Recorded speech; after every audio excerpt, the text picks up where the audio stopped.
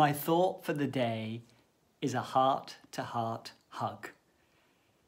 I went self employed in the 1990s and I went into the business world and the non profit world to help people to live, laugh, love, and learn. And I remember being told, forget the love. You can't take love into the business world.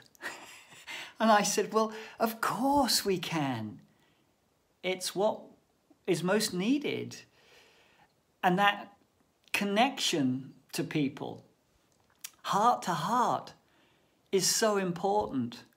So I would invite people to stand up and only if they were comfortable to give and receive a hug. And I would say to them that you might like to receive a hug off one person and not off another, and it's okay to say no. It's an interesting place to be because as the coronavirus is spreading throughout Europe and the rest of the world, we are being encouraged to keep our distance. And that's important. And yet, we crave physical contact. I had the great fortune to head down to Torquay to see my mum and dad before the outbreak happened here in the UK. My mother was scheduled to have a foot operation in early February and it got cancelled. And then it was set for March.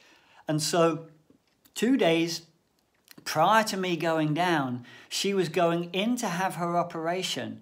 She was ready to go into the theatre. She had her gown on, they had drawn on her leg, and then they found out that she was on a blood thinner and that she couldn't have the operation because she'd bleed out.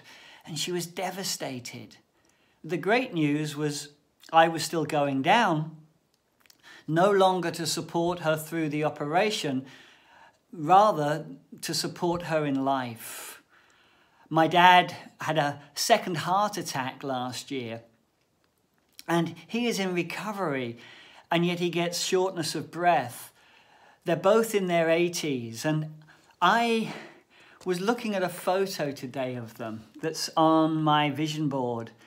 And one of the things that I had decided to do and continue doing this year was to record their life stories.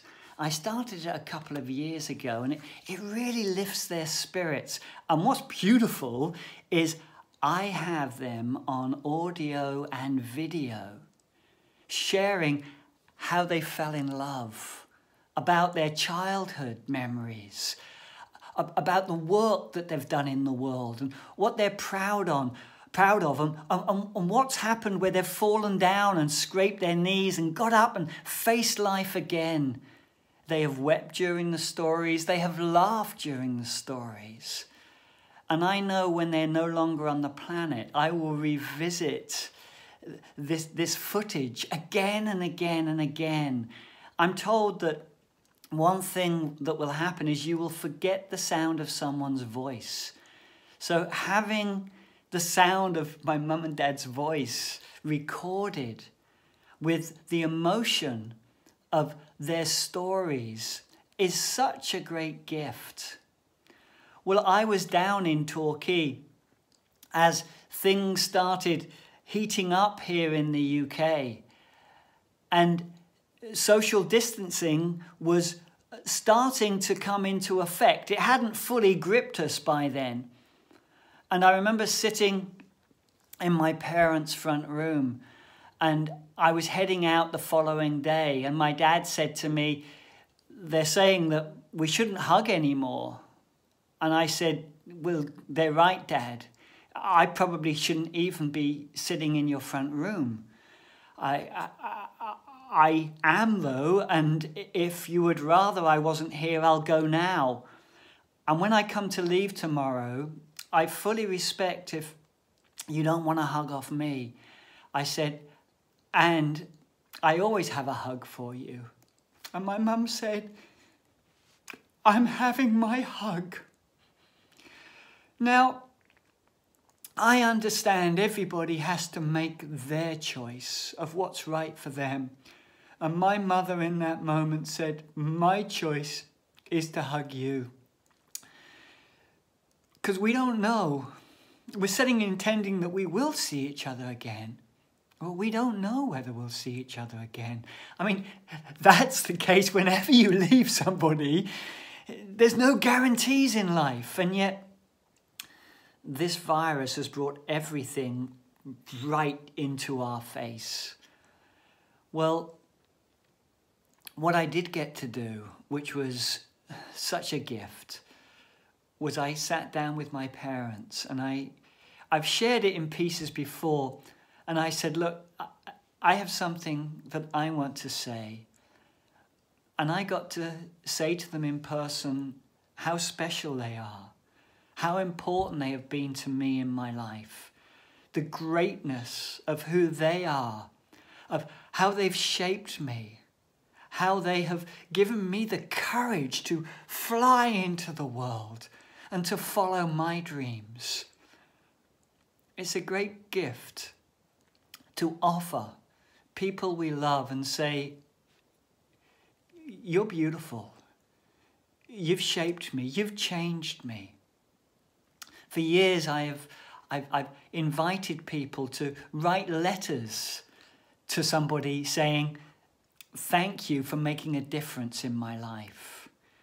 You know, we get texts, we get emails, but there's something special about receiving a letter. And whilst the postal service is still in operation, and even after, if, if, if it is suspended, it's a great thing to do to take pen to paper and write down some thoughts and say, Thank you you have impacted my life. I mean, imagine receiving a letter on your doorstep today and you open it up. I'm just getting a letter and it's not a bill. and you take that in when someone says, Thank you for making a difference in my life. I've written many such letters in my lifetime. And it wasn't in writing with my parents, it was orally, and it was in their home. And you might not be with your loved ones right now, but with technology as it is, with Skype, FaceTime, other mediums that are out there, it's a great opportunity to let people know how much you love them, how much you care in great gratitude, I share on this day.